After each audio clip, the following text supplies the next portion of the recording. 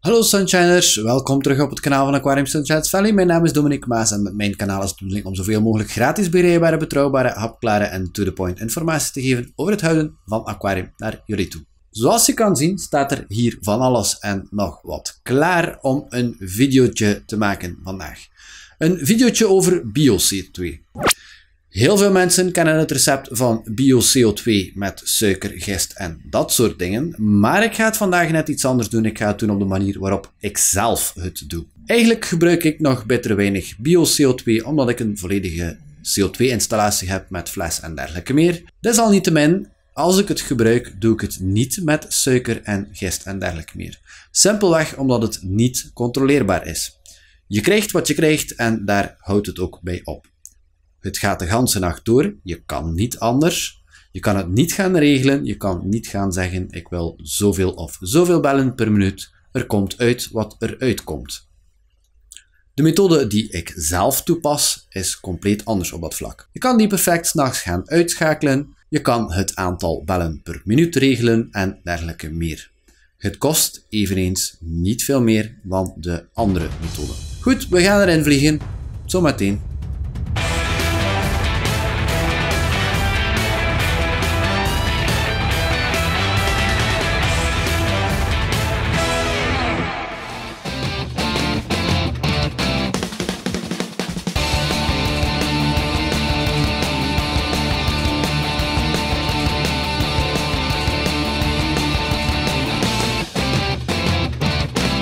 Vooraleer we van start gaan met de video van vandaag, wil ik jullie er nog even aan herinneren dat het belangrijk is dat jullie van begin tot eind heel aandachtig zijn in de video, want ook vandaag volgt er op het eind van de video een quizvraag.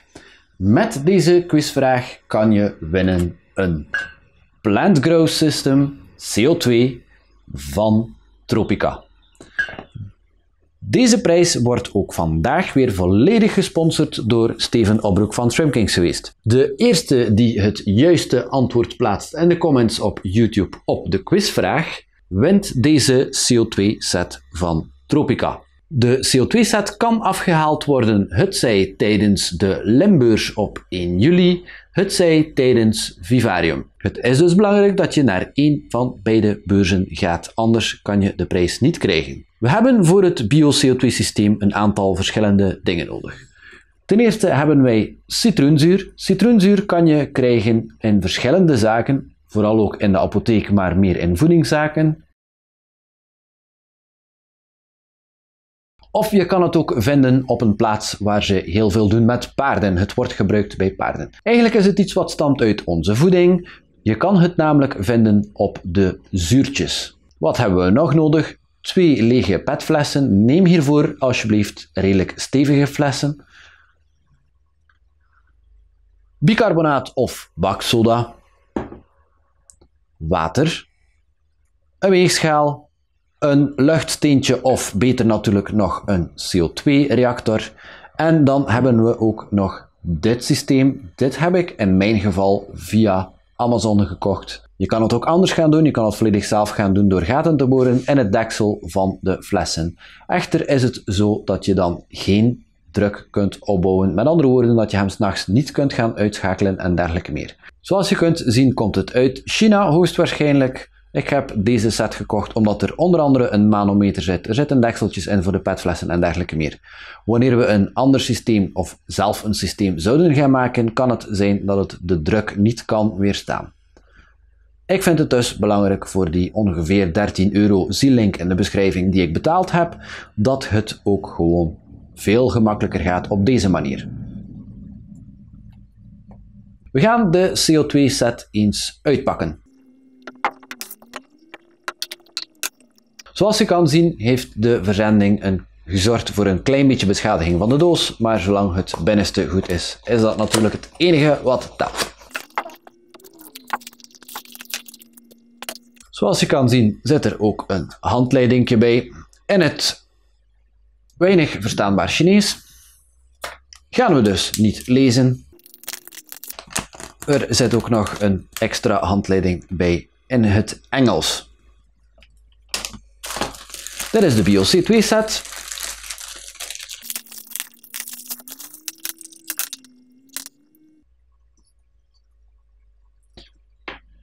Ik weet niet in hoeverre het duidelijk wordt op de camera, maar hier staat een letter A en daar staat een letter B.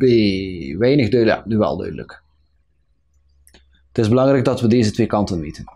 Aan één van de kanten hangt een bol met een magneet. Straks wordt duidelijk waarvoor die dient. Uiteraard hebben we ook nog een CO2-darm erbij. En twee dichtingen. De dichtingen zijn reservedichtingen. Je kan het ook alweer niet goed zien, maar hier links van mijn nagel kan je zien dat er al een dichting in zit. We gaan beginnen bij het begin. Een redelijke belangrijke vind ik zelf. We nemen de twee petflessen. Dit zijn petflessen van anderhalve liter. 2 liter is beter, maar het kan ook perfect natuurlijk met anderhalve liter flessen. Zoals we gezien hebben op dit stuk hebben we een deel A. En ik noteer het ook altijd op de fles. En hebben we een deel B.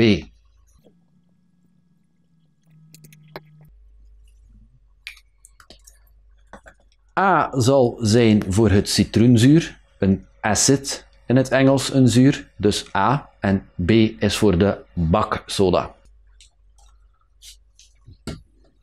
We gaan zowel van het citroenzuur als van de baksoda elk 200 gram afwegen.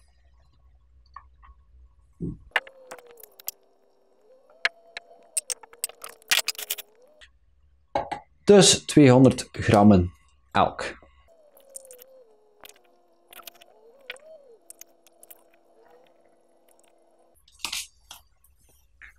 202 gram, ideaal. Het komt niet op een grammetje. We gaan gewoon het zuur, citroenzuur in de A-fles, acid fles gaan doen.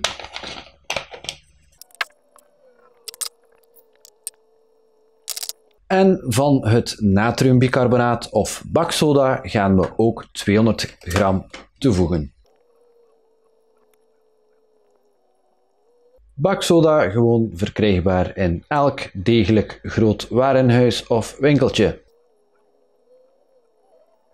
203 gram meer dan correct genoeg.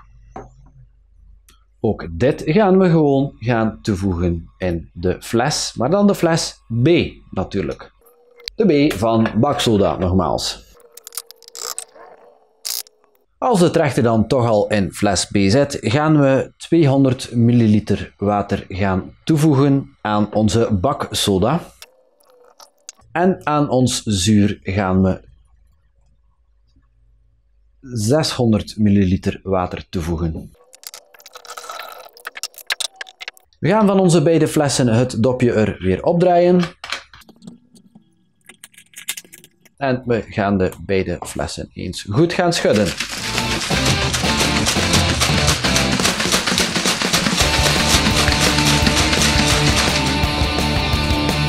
Het is normaal dat er bezinksel is. Het zal, er zal dus altijd wel een klein deel blijven staan.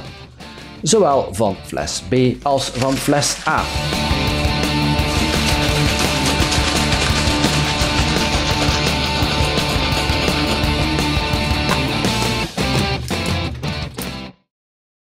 We kunnen de beide flessen gewoon weer opendraaien. En dan gaan we gewoon ons systeempje erin gaan steken. Uiteraard gaan we wel het magneetje eraf halen, want dat hebben we straks nodig. Dus fles A op kant A. Je mag die redelijk goed aanspannen, maar je moet daar ook niet in gaan overdrijven. En dan hebben we natuurlijk ook fles B. Je zal zien dat hier een eikoppeling opzet. Die eikoppeling mag gewoon in de fles.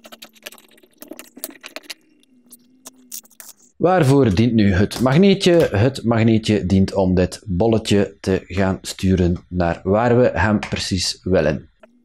Aan de overgebleven kant, B, daar zit een ventiel. Daar kunnen we gewoon onze CO2-darm op aansluiten.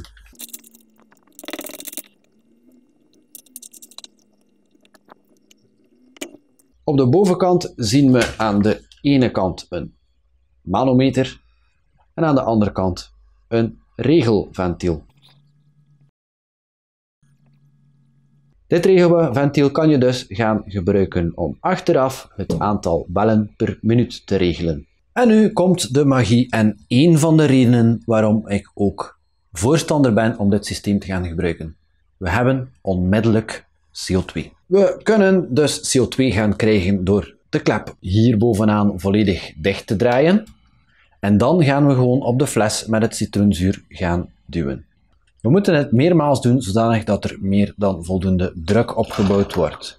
Het is dus zeker en vast belangrijk dat we ervoor zorgen dat onze, onze klep dicht is. Je zal vrij snel merken dat je amper nog kan duwen op de fles met het zuur. Dus dit is fles A, dit is fles B. Je zal vrij snel merken dat die echt wel keihard wordt. Op het ogenblik dat hij keihard is, zal de manometer ook beginnen druk tonen aan deze kant. Nu heeft hij nog te weinig druk, dus we moeten nog even verder doen. Dit is dus de reden waarom ik zei neem stevige flessen, omdat we echt wel druk beginnen opbouwen hier in de manometer. Misschien niet zo goed zichtbaar voor jullie. Even dichter komen. Maar de manometer begint bijna in het groen te staan.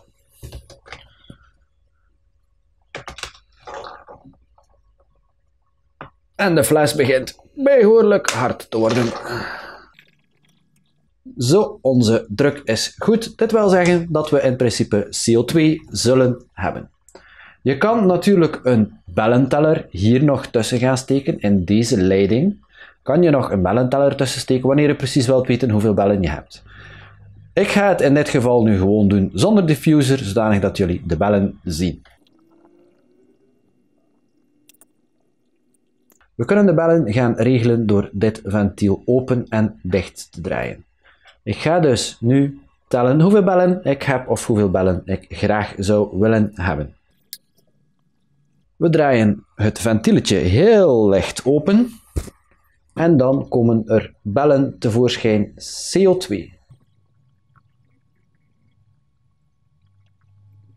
We kunnen dus bijvoorbeeld dit ritme gaan aanhouden of wanneer we meer CO2 willen, draaien we het gewoon een stukje meer open en krijgen we een pak meer CO2. In ons geval dus niet nodig.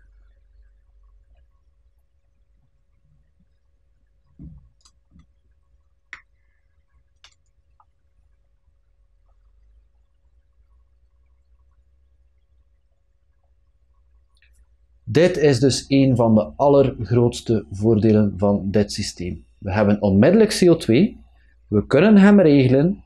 We kunnen zelfs een ventiel tussensteken die aan de hand van een schakelklok s'nachts gewoon uitschakelt. We hebben dus met andere woorden heel veel bewegingsvrijheid. We kunnen iets meer belletjes gaan nemen en dan gaan werken met een diffuser of bijvoorbeeld een bruissteentje om onze CO2 te gaan verdelen. We hebben onmiddellijk CO2. Deze mengeling van baksoda en citroenzuur geeft dus CO2 met heel veel controlemogelijkheden, heel veel mogelijkheden om bijvoorbeeld zelf te gaan regelen wanneer, hoeveel we CO2 nodig hebben. En nogmaals, ik benadruk het, het allergrootste voordeel is instant CO2. We hebben er onmiddellijk. Even alle voordelen op een rij, behalve dat ik hier nu vlotjes CO2 sta te verspillen in een maatbekertje. We hebben onmiddellijk CO2. We kunnen hem regelen in toevoer, dus in het aantal bellen per minuut. We kunnen hem s'nachts uitschakelen. Het is helemaal niet duur. Iets duurder dan suiker en gist en al zeker als je dit erbij gaat nemen. Maar uiteindelijk valt het mee. Ik denk dat er hier nu maximaal 25 euro staat en daar kan ik al een hele poos mee weg. Het is redelijk veilig in gebruik. Citroenzuur kan gegeten worden door mens en bijvoorbeeld ook kinderen of dieren, wat ze normaal gezien niet zullen doen, want het is redelijk zuur. Baksoda gebruiken we om te bakken in de voeding, dus het is perfect veilig. Het is een heel eenvoudig systeem, in dit geval ook een heel stevig systeem die niet zomaar zal omvallen. Het is ook een ander systeem. En wat is er dan vooral anders aan, praktisch gezien, dan bij het andere systeem met suiker en gist? Het ruikt niet naar bier in jouw aquariumkast. Een heel leuk, eenvoudig systeem dus. Ik hoop dat u een stuk heeft bijgeleerd uit deze video en ik heb nog een quizvraag. Bij welke dieren gebruiken we ook nog citroenzuur? Bedankt om te kijken naar deze video. Ik hoop dat je er iets aan had. We zien elkaar ongetwijfeld in een volgende video. Tenminste, als u geabonneerd bent en de meldingen binnenkrijgt. Ik wens jou nog een fantastische dag toe. Dag.